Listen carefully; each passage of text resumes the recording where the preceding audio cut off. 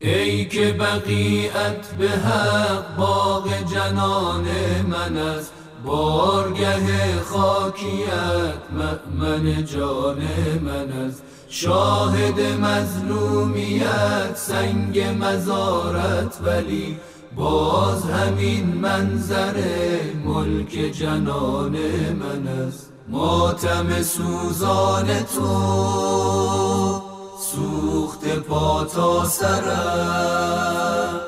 داغ غمت بر جبین نام و نشان من است ماتم سوزان. هفتم زلحج شهادت آقا امام محمد باقر را خدمت شیعیان مرتضا علی تسلیت است نشان من داغ غمت بر جبین نام و نشان من است. زمزمه یاد تو زمزم چشم ترم جاری اندوه تو اشک روان من است. جاری اندوه تو. بسم الله الرحمن الرحیم. در آستانه فرارسیدن شهادت باقر العلوم سلام الله علیه هستیم به محضر امام عصر سلام الله علیه و ارادتمندان به خاندان اسمت و تهارت تسلیت عرض می کنیم انشاءالله که در راستای اهداف آن امام بزرگوار همه ما موفق و سعادتمند و بتوانیم سعادت دنیا و آخرتمان را در جهت اهداف الهی اعتقادی و عملی آن امام بزرگوار قرار بدهیم و روسفید دنیا و آخرت ان الله جان من است شاهد مظلومیت سنگ مزارت ولی باز همین منظر ملک جنان من است. ماتم سوزان تو سوخت پا تا سرم. داغ غمت بر جبین نام و نشان من ماتم سوزان تو سوخت پا تا سرم. داغ غمت بر جبین نام و نشان من است. بسم الله الرحمن الرحیم. تسلیت و تعذیت عرض می‌کنم. شهادت پنجمین اختر تابناک آسمان امامت و ولایت حضرت امام محمد باقر علیه السلام رو. جاری اندوه تو اشک روان من السلام علیک یا محمد ابن علی. تعذیت و تسلیت عرض می‌کنیم. شهادت امام پنجم شیعیان رو حضرت امام محمد باقر علیه السلام و السلام رو. وای دل از غربتت ای پسر فاطمه. وای دل از غربتت رفته ز دست از غمت تاب و توان من است ای پسر فاطمه وای دل از غربتت رفته ز دست از غمت تاب و توان من است ای پسر فاطمه. از زندگی امام باقر علیه السلام چی می‌دونید ایشون در حادثه آشورا کنار پدر بزرگوارشون و جد بزرگوارشون آقا ابا عبدالله حسین در کربلا حضور داشتن و اخبار را خودشون می‌دیدن. اتفاقات که در کربلا افتاده است و به شیعه انتقال دادن معارفی ناب پیغمبر و اهل بیت امیرالمومنین ها. این چیزهایی که زندگی اهل بیت بایکوت شده بود ایشون یه فضای بازی پیدا شد که ایشون اینها را به مردم ارائه بدن. ظلم هایی که به اهل بیت شده بود در طول این چندین سال برای مردم بازگو کنن و مردم ها با افکار نورانی اسلام واقعی ناب روشن کنن. خب آن امام بزرگوار ولادتشان در ایام و روزهایی بود که محضر جد بزرگوارشان حضرت سید الشهدا علیه السلام را درک فرمودند. پدریشان امام سجاد سلام الله علیه داشتند.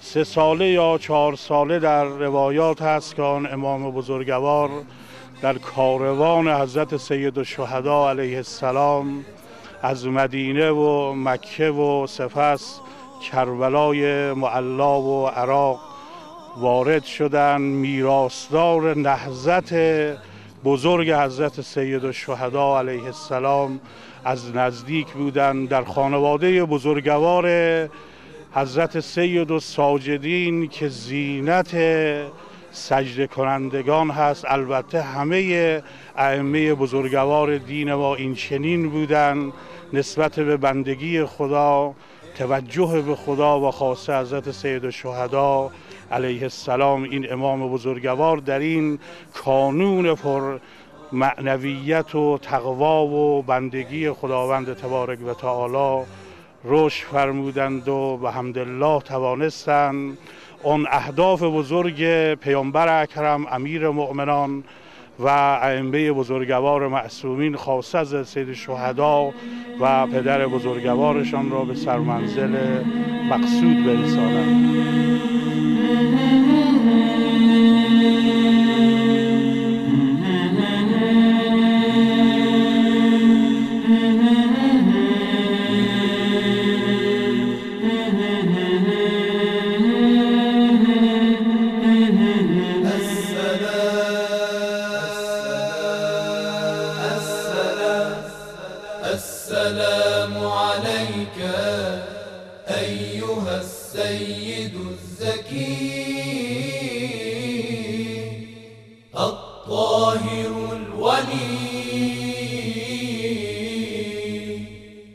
به نظر شما چرا به امام باقر علیه السلام لقب باقر علوم رو دادن؟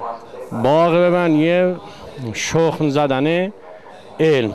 شخم زدن زمین. یا ایشون باغ علوم به این معنی که علم رو شکافتن علم بازش کردن و انتشار دادن به تمام عالم هستی لقب باقر العلوم به امام پنجم شیعیان حضرت امام محمد ابن علی علیه, السلام رو به این خاطر به امام باقر علیه السلام دادن که در عصر ایشون برنامه علمی و برنامه بار علمی شیعیان طوری نمایان شده بود که به حال بحث علمی و بحث تحصیلی در عصر امام باقر علیه السلام بیشتر خودشو نشون داده بود.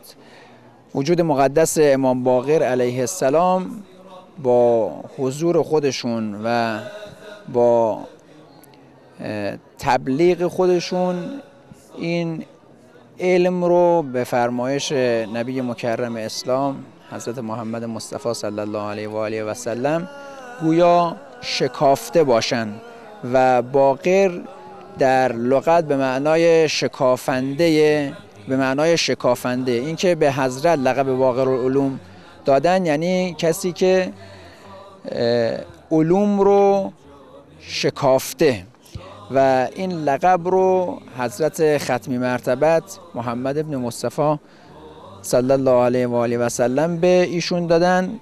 به حضرت جابر فرمودن که جابر تو بعد از من امامان زیادی رو درک می‌کنیم یکی از اونها امام باقر علیه السلامه که امام حضرت پیامبر فرمودن که به امام باقر علیه السلام سلام من رو برسون و بلغنی منی السلام.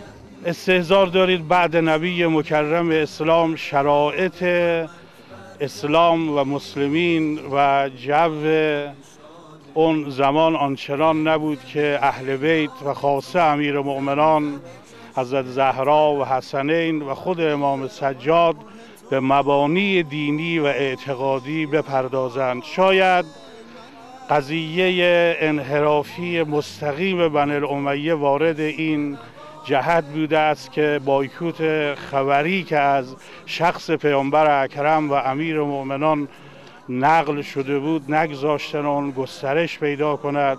فاصله زمانی بن الامیه و بن العباس باعث این قضیه بزرگ شد.